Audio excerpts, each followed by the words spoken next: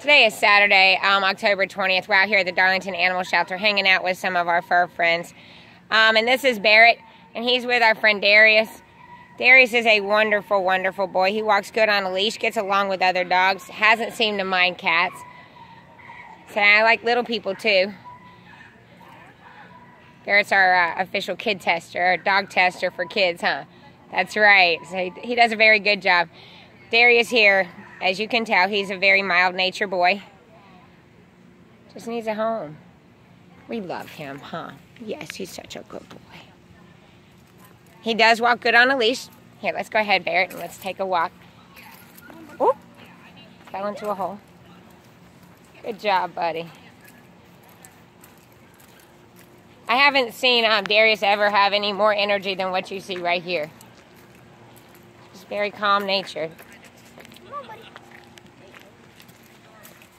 Good job. You stop again.